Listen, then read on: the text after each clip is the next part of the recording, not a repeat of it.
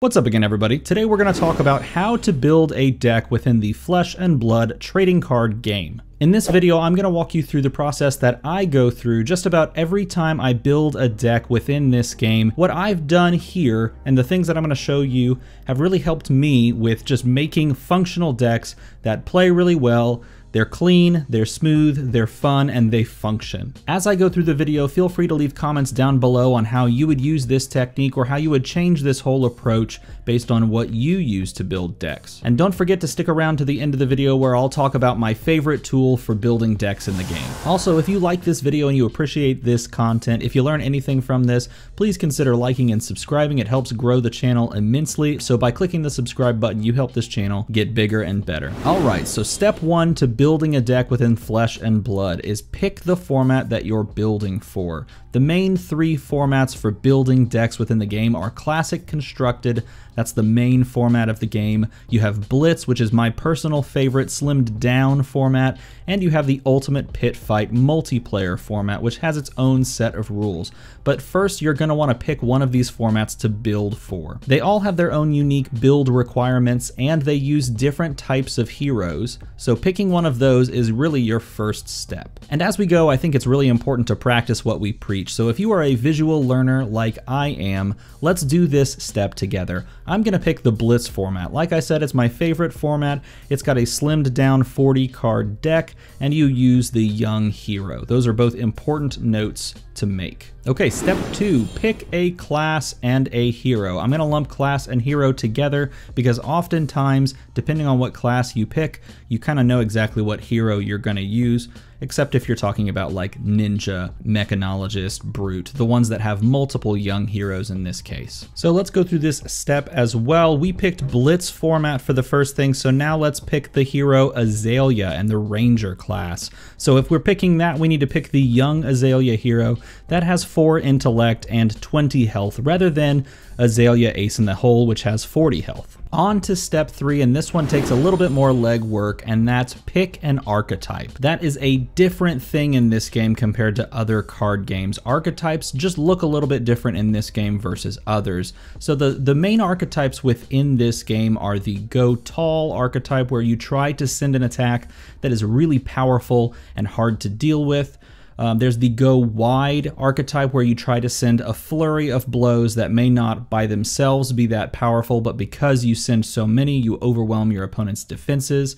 There's a mid range build where you could do a little bit of both or where you could adapt to your matchup. And then there's combo builds, which are essentially looking for a couple of pieces to line up at the same time so that you can do massive damage or a special thing. And this is where OTK decks kind of fall into. And it's important to note that certain classes really gel with certain specific archetypes. Like Guardian is always about that go tall archetype. It tries to deal massive damage with one big attack. Ninja is really always about the go wide archetype. It tries to deal tons of damage with all of these little cuts and pokes. So when picking an archetype, look at what your class likes to do and what it does well, and then build around that. So in our case, we can actually use a go wide or a go tall strategy with the ranger class. And in this case, I think we're gonna do the go wide strategy. Okay, so so far we've picked our format, we've picked our class, and we've picked our archetype. The next step that really helps out the deck building side of things is knowing what the powerful cards in your class are. Oftentimes these are the majestics, these are the super rares, these are the specialization cards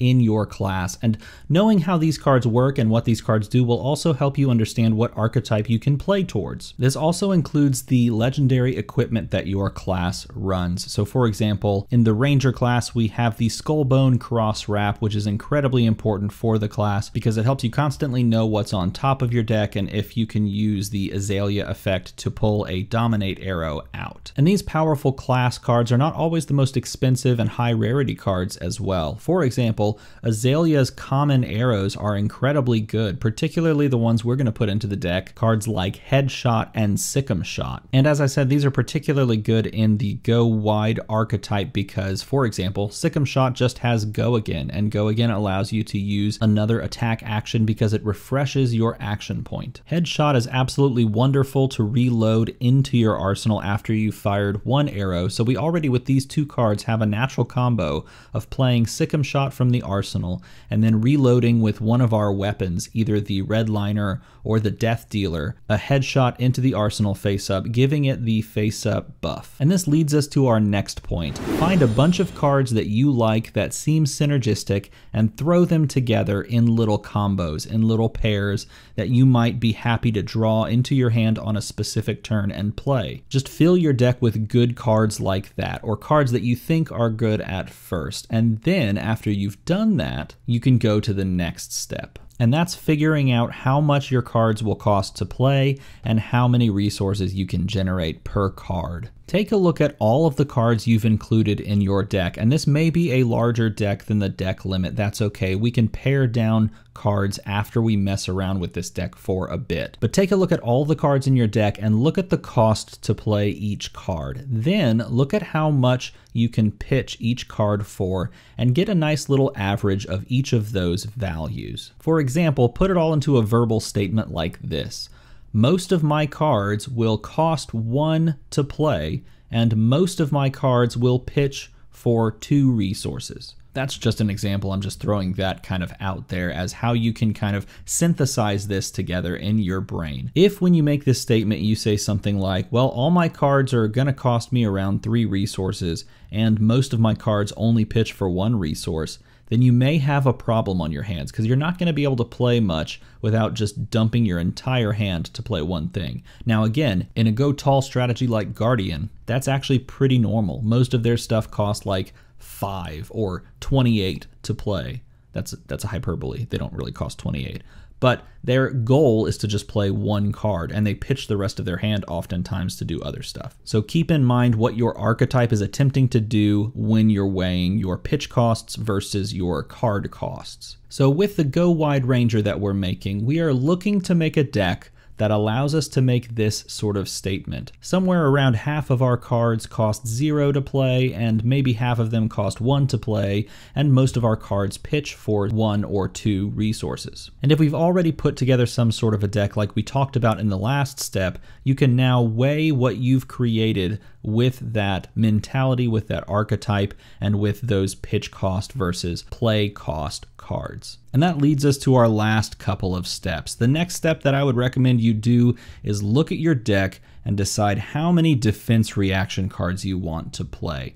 In Blitz here, we're to probably end up playing, I don't know, four to six defense reactions. Six is certainly the high end, and four is about average. There are some decks, and this may actually be one, this Ranger deck we're talking about, that play very few, maybe zero defense reactions, and are only focused on trying to get 20 damage faster than your opponent. But overall, you should consider defense reactions as an invaluable part of your deck and think about whether or not including them and including them to what degree you plan to do. And finally, this is perhaps the most important step. Once you've created your deck, you should play it a whole bunch and you should iterate on it. That essentially just means play it, figure out what cards feel good, what cards feel bad, what cards you don't end up playing very often, and what cards you just love to draw and play on that turn and then make changes based on all of that data. This is the most important step, and it's the one that is probably the most fun and perhaps the most time consuming as well. Now, I did mention equipment briefly when I talked about including legendary equipment or deciding not to.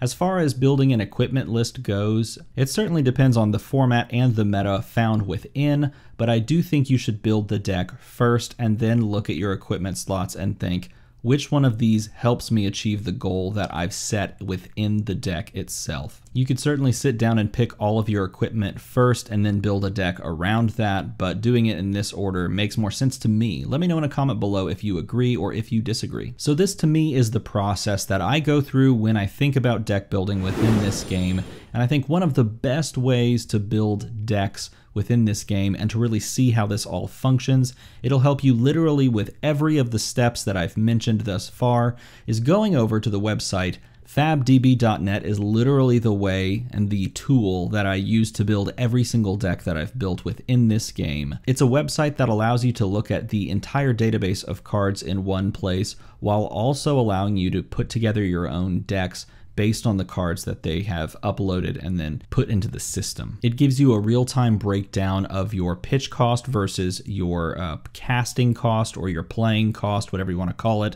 for your entire deck. It gives you a bunch of other little analytical things that help you kind of understand what your deck can do in its current form and how you can change it. There's even ways to import your own collection so that you can build a deck with your collection rather than just building a deck carte blanche so you know if you actually have certain cards cards or not. It's absolutely fantastic. It's totally free to sign up for a base account. If you're curious about how to actually go about using the website and uh, how to use all the tools within it, I would highly recommend that you hit the subscribe button because I will be putting out a video on that exact topic, walking you through how to use every single functionality within the base and the premium version of FabDB in a couple of days. So hit the little subscribe button, hit the notification icon, and come back whenever that video goes live. If you enjoyed this, if you learned something about deck building within the game of Flesh and Blood and you would like to support the channel, hitting the like and the subscribe on this video helps a ton. It'll help other people find this video as well, and the more people that are playing and building decks within Flesh and Blood,